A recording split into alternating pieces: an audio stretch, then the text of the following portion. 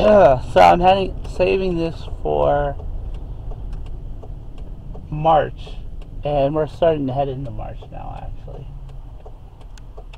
But I'm gonna go pick up Jordy, and we're gonna see him for a bit.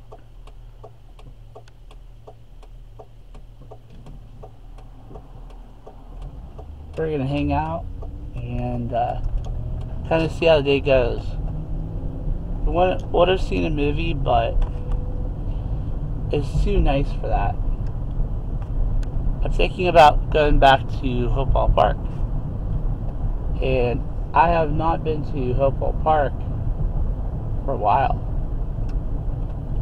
I haven't yet in 2023 because it's too cold, but today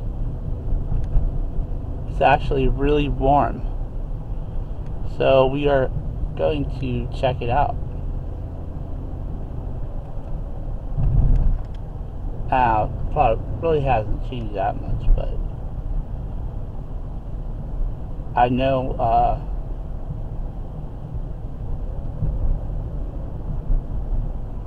we're gonna get a lot of sun today, so I'll see you in a bit.